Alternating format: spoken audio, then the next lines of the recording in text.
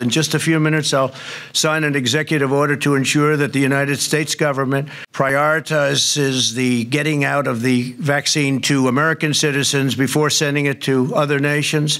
Now, if necessary, I told you we'll invoke uh, the Defense Production Act because nobody thought this was possible. Nobody thought it was even remotely possible to do what we've done in a period of less than nine months, uh, something that just not uh, even thinkable. The next administration will be the one ultimately that implements a lot of the distribution of this vaccine and will oversee much of the future of the way Operation Warp Speed goes forward. Why not include members of the Biden transition team as part of this summit that you're hosting today? Well, we're going to have to see who the next administration is because uh, we won in those swing states, and uh, there was uh, terrible things that went on, so we're going to have to see who the next administration is. But whichever the next administration is, will really benefit by what we've been able to do with this incredible science, uh, the doctors, all of the people that came up, the lab technicians, the work, the work that's been done is incredible. And it will be incredible for the next administration. And hopefully, the next administration will be the Trump administration because you can't steal hundreds of thousands of votes. You can't have fraud and deception and all of the things that they did and then slightly win a swing state. And you just have to look at the numbers, look at what's been on tape, look at all the corruption, and we'll see. You can't win an election like that. So hopefully, the next administration uh, will be the Trump administration, a continuation, which has led us to the highest stock markets we've ever had, the best employment numbers we've ever had, a rebuilt military. Uh, if you look at uh, the tax reductions, are the greatest in history. The regulation reductions, the greatest in history. It leads us to Space Force, which nobody thought was possible. All of the things we've done and we were rewarded with a victory. Now let's see whether or not somebody has the courage, whether it's a legislator or legislatures, or whether it's a justice of the Supreme Court or a number of justices of the Supreme Court. Let's see if they have the courage to do what everybody in this country knows is right. I received almost 75 million votes, the highest number of votes in the history of our country for a sitting president. 12 million more than the 63 million we received four years ago. President Obama received 3 million less in his second term, and he won easily.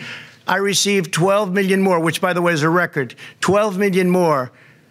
And they say that when the numbers came out, and the numbers came through machines, and all of those ballots were taken away and added. All you have to do is turn on your local television set, and you'll see what happened with thousands of ballots coming out from under tables with all of the terrible things you saw. All you have to do is take a look.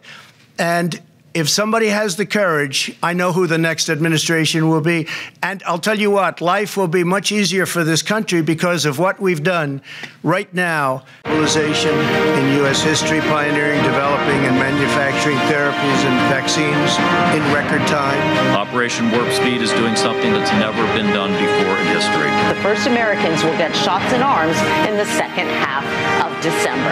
That's incredible, Elizabeth. The, the timeline has just been jaw-dropping. We were able to and empowered to make all the right calls and decisions. Well, this is a rather remarkable moment because it is true. This is warp speed. Warp speed is being run in a non-political way, uh, in a way we can be proud of. We believe we're going to have people getting vaccinated, millions of people, before Christmas this year. It's just unheard of in the history of public health, this accomplishment. Ladies and gentlemen, the President of the United States, Donald J. Trump.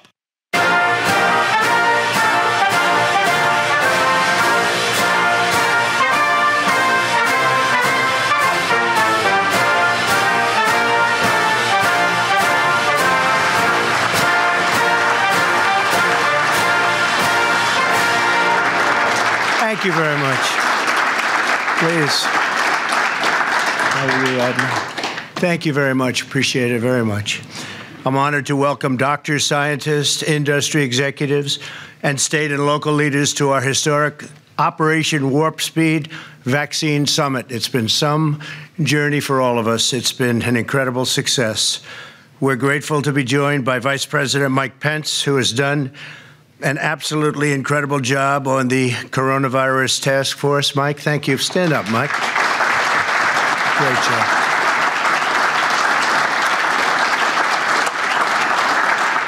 We're here to discuss a monumental national achievement. From the instant the coronavirus invaded our shores, we raced into action to develop a safe and effective vaccine at breakneck speed. It would normally take five years, six years, seven years, or even more. In order to achieve this goal, we harnessed the full power of government, the genius of American scientists, and the might of American industry to save millions and millions of lives all over the world. We're just days away from authorization from the FDA, and we're pushing them hard, at which point we will immediately begin mass distribution. Before Operation Warp Speed, the typical time frame for development and approval, as you know, uh, could be infinity. And we were very, very happy that uh, we were able to get things done at a level that nobody has ever seen before. The gold standard vaccine has been done in less than nine months. On behalf of the entire nation, I want to thank everyone here today who has been involved in this extraordinary American initiative. I also want to recognize members of my administration who have worked tirelessly in this effort. Uh, Alex Azar, please, Alex. Where's Alex? Thank you, Alex. Great job. Moncef Slaoui, where are you, Moncef? Thank you very much. Great job. A man who's now going to be very important, General Gus Perna. I have no doubt about it, right? Logistics. Jared Kushner's worked so hard. Where's Jared? Jared, wherever you may be. Thank you, thank you, Jared. Dr. Deborah Birx. Deborah? Thank you very much, Deborah. Admiral Brett Giroir. Where is Brett? Great job you've been doing, Brett. Surgeon General Jerome Adams. Jerome, thank you very much. Terrific. Dr. Robert Redfield. Robert, thank you very much. Appreciate it. Administrator Seema Verma. Seema, thank you. Dr. Peter Marks. Peter. Paul Mango, Adam Boehler, and Brad Smith. Thank you very much. Great job. Incredible job, and, and many others also. Many, many others. We're also grateful to be joined by Governors Greg Abbott. Where's Greg? Bill Lee. Bill? Thank you. Thank you, Bill. Ron DeSantis. Ron? Thank you, Ron. Thank you. Thank you very much. Great job, Ron. And John Bel Edwards. John Bel as well as Senator John Barrasso, who's a fantastic doctor, also, by the way, I have to say. When, we, when I need info on that subject, I call up John. Thank you, John, very much. Senator Steve Daines, congratulations on a great win. Great win. That was easier than you thought, it turned out, right? It was a little easier than you thought. Great going. We're proud of you. Congressman Greg Walden. Greg, thank you very much. Thank you very much and Congressman Brad Wenstrup. Thank you, Brad. Great job. And many, many others. My administration provided a total of $14 billion to accelerate vaccine development and to manufacture all of the top candidates in advance, long in advance.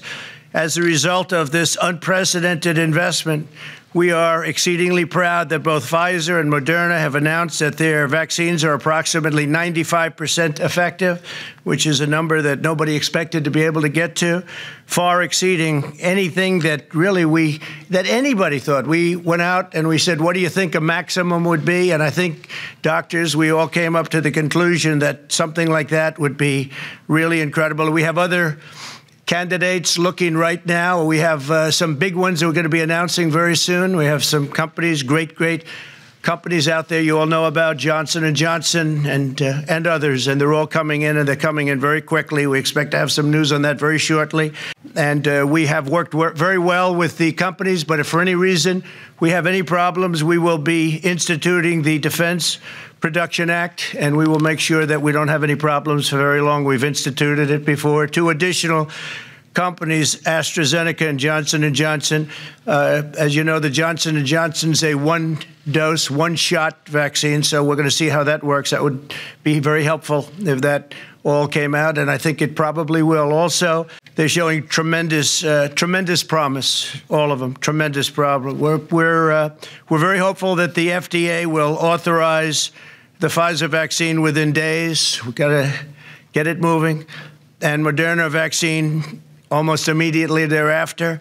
Uh, large numbers of tests and samples have been done, so hopefully that'll go very quickly. If authorized, tens of millions of vaccine doses will be available this month, and we'll get it distributed very quickly. We'll have that all set, and hundreds of millions more will quickly follow. Every American who wants the vaccine will be able to get the vaccine. And uh, we think by spring, we're going to be in a position that uh, nobody would have believed possible just a few months ago. Know, amazing, really amazing. They say it's they say it's somewhat of a miracle, and I think that's true. The plan we put forward prioritizes the elderly and patients with underlying conditions, as well as healthcare workers and first responders. The uh, ultimate decision rests with the governors of the various states, and I hope the governors make wise decisions who will decide where the vaccines will go in their state and who will get them first. We urge the governors to put America's seniors first, and also I think those who work with seniors, which obviously you're going to have to do that. I think they have to go together, and uh, doctors, nurses, first responders, etc. Uh, this uh, will quickly and dramatically reduce deaths and hospitalizations, and within a short period of time, I think uh, we want to get back to normal. It's a very standard phrase. We want to just get back to normal, get back to where we were a little more than nine months ago. We're doing incredibly. And in many respects, we're still doing incredibly with our stock markets and everything else, which are hitting all new highs. We've already finalized a partnership with Walgreens and CVS, whose executives join us today. Thank you very much for being here. Thank you very much. We appreciate it very much and they will deliver vaccines directly to nursing homes as soon as the states request that they do so. Later today, General Gus Perna will outline the detailed plan to rapidly distribute the vaccine to every state, territory, and tribe. States have designated over 50,000 sites that will receive the vaccine. We've worked very closely with the states. Actually, we've had very good relationships with the governors. I almost think all of the governors at least in those conference calls that are somewhat secret, other than sometimes on occasion, Mike, the press will break in, which is fine too. it's amazing how you leave those rooms and about 10 seconds later, there wasn't even time for a leak. They were on the call, but that's all right. So you assume that. You always assume that. But they'll be going through pharmacies, hospitals, healthcare providers, through our partnership with FedEx, UPS, and McKesson We'll ship doses from warehouses directly to the designated sites, and we're thrilled to be joined by representatives of those really great American companies. Those companies have worked with us, and they've been incredible to work with. And I want to thank you all for being here. Please, thank you very much. Thank you. As I've stated all along, and I guess as you saw pretty vividly, I heard about the uh, I heard about what they were going to show prior to my coming. Uh, you saw that very few people thought that this was possible. Uh, of course, they'll be saying now, we always told you it was so, but we have them saying a little bit different. But uh, it has been incredible, and it will end the pandemic. It will end the pandemic, and we're working with other nations. As you see, actually, by looking at your screen today, we're working very closely with other nations also to get the vaccines out to other nations. And uh, that's very important. We work with the world. We're working with the world. We have great companies and we're working with the world. In just a few minutes, I'll sign an executive order to ensure that the United States government prioritizes the getting out of the vaccine to American citizens before sending it to other nations. Now, if necessary, I told you we'll invoke uh, the Defense Production Act but we don't think it'll be necessary. If it is, it's a very powerful act, as you know, because uh, we've used it uh, very, very successfully. Uh, while we begin to swiftly deploy the vaccine, we'll continue to expand the availability of groundbreaking therapies. Since April, advances in treatments have already helped reduce the mortality rate by 85%. Think of that 85%. It's an incredible number. I've delivered on my solemn promise to make the antibody treatments. They're brilliant, they're highly successful. available to every American, and we're doing that free of cost, totally free of cost. So we're making them available, and uh, they're available now. And if somebody gets sick, uh, it works uh, where they go and they get treatment if that's what the doctors are prescribing. And uh, it's been incredible, the success. And when you hear 85%, that's some number. To me, that's a number that goes along with anything else, uh, including the vaccines, when you think about it, as well as we've done with the vaccines. When you hear 85% uh, people people find that one hard to believe. But you look at the stats and you see what's happening, and you look at other countries. They're having tremendous difficulties in Europe, tremendous, beyond, relatively beyond what we're having. They're having them all over the world. But this will vanquish the, the problem, this horrible scourge, as I call it, the China virus, because that's where it came from. And the virus uh, has really uh, been looked at and studied all over the world, and our scientists, our industrial and economic uh, mobilization has been like nobody else in the world could have done. And uh, it's very important that we share that with others and other nations. I've worked and invoked the Defense Production Act over 100 times to manufacture essential supplies in the United States. Despite the grim projections from the media eight months ago, where they said this was impossible, they actually said, and you saw that a little bit, but I could give you. Uh, two hours worth of it. But they said it will never happen. You could never do it. It was a pipe dream. Uh, but we uh, we did something that nobody thought was possible, and we also did it where no American who has needed a ventilator has been denied a ventilator. Uh, when we when this first came out, we weren't equipped for that. Nobody was equipped for that and we're now making ventilators, and uh, we have all we need in this country, but we're sending them to countries all over the world. We're making thousands and thousands of ventilators a month. The United States has also created the largest, most advanced, and most innovative testing program in the world by far.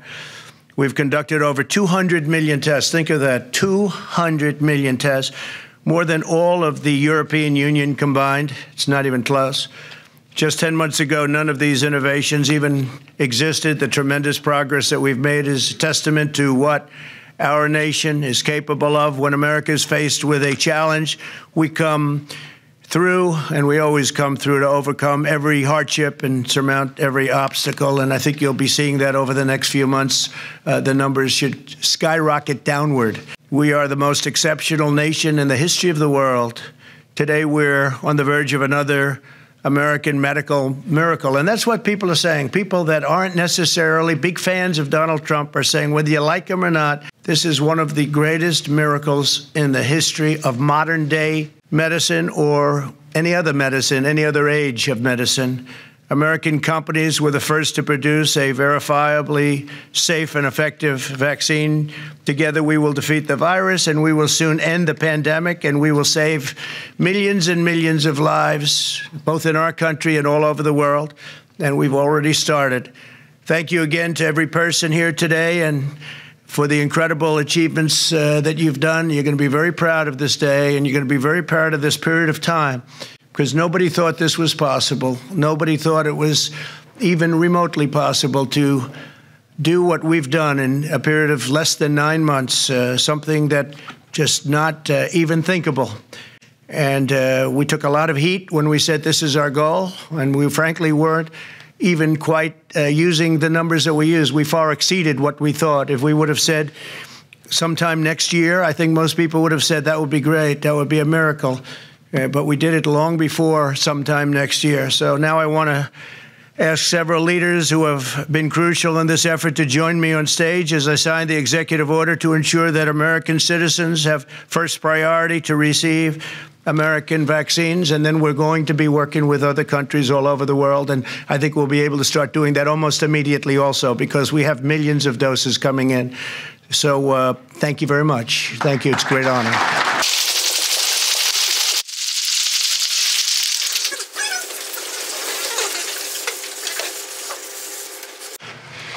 Let's see here. This, I guess we have to do our vice president. Right? spread that around. Spread, I'll spread the wealth. Thank you, Mr. President. Okay, thank you very much. Thank you very much, everybody. Thank you. Thank you.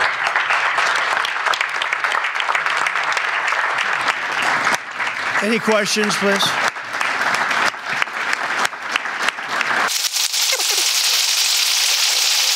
Thank you all. Any questions, please? Question? Yes, please. President, it's clearly a success, this vaccine.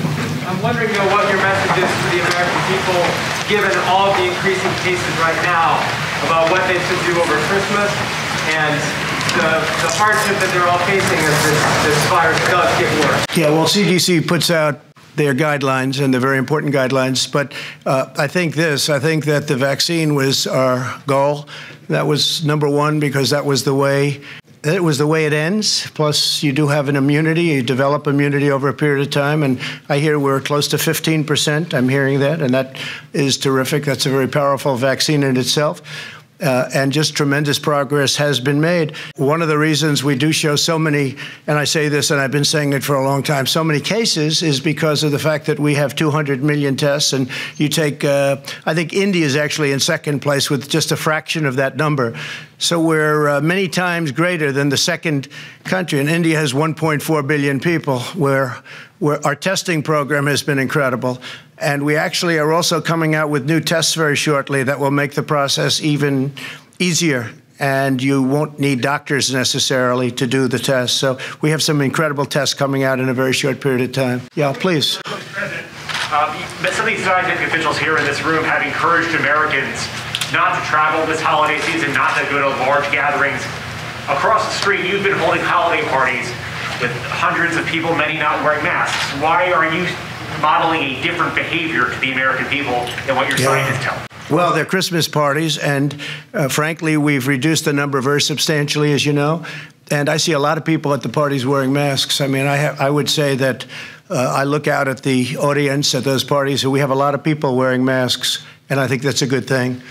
Yeah, please, uh, over here, go ahead. The next administration will be the one ultimately that implements a lot of the distribution of this vaccine and will oversee much of the future of the way Operation Warp Speed goes forward. Why not include members of the Biden transition team as part of this summit that you're hosting today? Well, we're going to have to see who the next administration is because uh, we won in those swing states, and uh, there was uh, terrible things that went on, so we're going to have to see who the next administration is. But whichever the next administration is, will really benefit by what we've been able to do with this incredible science, uh, the doctors, all of the people that came up, the lab technicians, the work, the work that's been done is incredible. And it will be incredible for the next administration. And hopefully, the next administration will be the Trump administration because you can't steal hundreds of thousands of votes. You can't have fraud and deception and all of the things that they did and then slightly win a swing state. And you just have to look at the numbers, look at what's been on tape, look at all the corruption, and we'll see. You can't win an election like that. So hopefully, the next administration uh, will be the Trump administration, a continuation, which has led us to the highest stock markets we've ever had, the best employment numbers we've ever had, a rebuilt military. Uh, if you look at uh, the tax reductions, are the greatest in history. The regulation reductions, the greatest in history. It leads us to Space Force, which nobody thought was possible. All of the things we've done and we were rewarded with a victory. Now let's see whether or not somebody has the courage, whether it's a legislator or legislatures, or whether it's a justice of the Supreme Court or a number of justices of the Supreme Court. Let's see if they have the courage to do what everybody in this country knows is right. I received almost 75 million votes, the highest number of votes in the history of our country for a sitting president, 12 million more than the 63 million we received four years ago. President Obama received 3 million less in his second term, and he won easily. I received 12 million more, which, by the way, is a record 12 million more.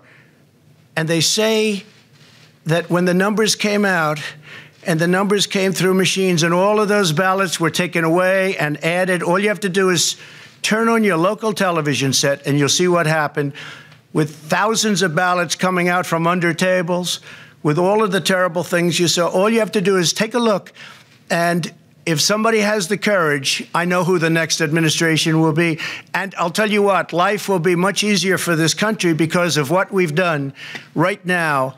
And because of a lot of the people in this room, the job you've done on the vaccine, together with a lot of others, has been a modern day miracle. And it's really been acknowledged as such. And I want to thank you. I want to give you my love and I want to give you my thanks because you're very special people. And now, good luck. You distribute that, General, and really set records, okay? Set records just like we've been doing for four years. Thank you very much. Thank you, everybody. Thank you.